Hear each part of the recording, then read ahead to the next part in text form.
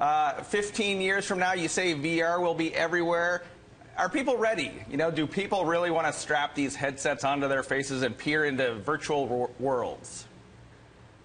They're not ready now, but they don't understand what the value that's going to be created for this or the utility of the experience is. So I think if they would understand what they can get out of it, they will be ready. And so it's going to take some time for the content and for the experience to be refined. But as that gets refined, we think this is going to be as dramatic of a technology shift for consumers as the smartphone was 10 years ago. We knew the smartphone was coming. We were two years away from the iPhone and ultimately it's become much bigger than what we thought. So I think that's probably where we're at in terms of VR and longer term in terms of augmented reality and AR. And we'll get and we'll get to that. But Maha VR, everyone seems to think that games will be the first application.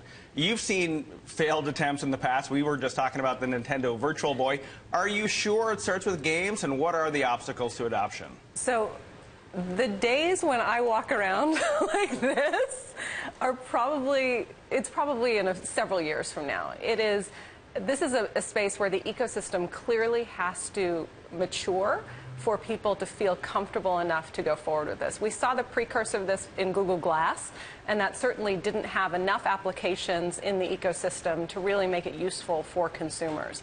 I can see a VR a, a, first phase of VR deployments being in B2B spaces, like you said, in the courtroom or the hospital, having this be a consumer play really needs to have very differentiated and very exciting apps, most likely games. But again, game developers really need to be incented in a big way to, to devote tens of millions of dollars to this. Gene, I saw Brendan Iribe, the CEO of Facebook's Oculus unit at the Code Conference earlier this week. He said the Oculus Rift, when it launches next year, could be around $1,500. An extraordinary price. In your report, you, you said that you think that some of these firms will eventually have to give these devices away along with smartphones. So what, what happens? You know, how, what, what does the price point need to be and how quickly do they need to drive it down? Well, initially, that's not even a starter, $1,500. And Gear VR is available for $200, which you can take an existing high-end Samsung phone and make it into some sort of a VR experience. The $1,500 version that Oculus is talking about is going to be a little bit more interactive and immersive as well. But to answer your question is that the price point needs to get down to $100, $200 for all the great experiences.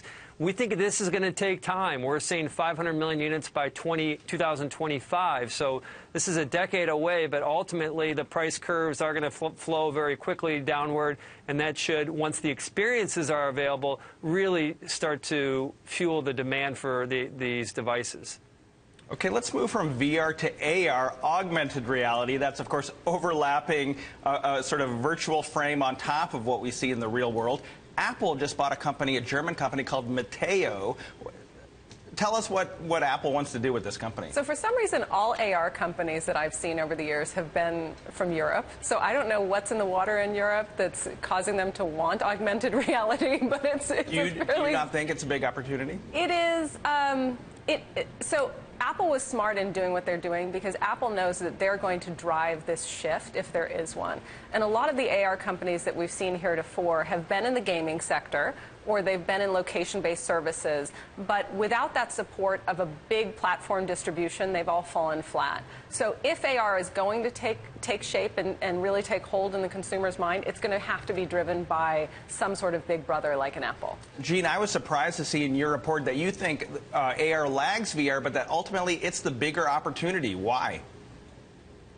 It's it's the blending of the virtual and the the uh, the real world, and there is applications of, of, the amount of data that we see every day, the amount of information that our eyes pick up, and there's data that can be overlaid with that that can create new experiences. Think of what Google Glass tried to do, but an experience that actually people wanted to use and created value. Imagine never forgetting someone's name or being able to look at a building to know which tenant was in or a restaurant knowing the menu it's infinite what can be done in augmented reality, where virtual reality is a good starting point, but it's going to be games, it's going to be live sports and, and uh, live entertainment, things like that. So we think augmented reality is 70% of the opportunity longer term, but it's going to take longer to get the displays right. Wow, Maha, agree with that? Is AR 70% of the overall opportunity eventually? I certainly think so. Apple is trying to own the retail store. So, with their beacon technology that's coming out, they're trying to have better analytics for retailers to understand who's buying what and where and in what quantities in what store. Having AR on top of that, on top of the Apple platform, allows them to go much, much deeper in their relationship with retailers and commerce is naturally going to follow. I want to ask you both what you make of Google's cardboard headset. This is really a $4 contraption that allows you to insert your phone and use it as the VR as the VR display. Is Google trying to be disruptive, and is this a serious player, Maha and then Gene, uh, to compete with the likes of Facebook and Microsoft's holo holographic? Uh, display? I, I, love what Google is doing here and that they kind of just threw a nuclear bomb into VR right away. They're like, screw having it be commoditized in three years. We're going to commoditize it from the get-go. And if you want to start with a pizza box and make it, God bless. It's it's a phenomenal uh, way of Google entering the market. Gene, is, is Google Cardboard a serious entry into this market? No, I think Maha hit it right. It's they're making a statement. They're showing that they want to be um, have a presence in AR. It's a great way to do it. It's a great marketing trick to, to be a part of it, and it just really increases the average person's awareness of, of AR.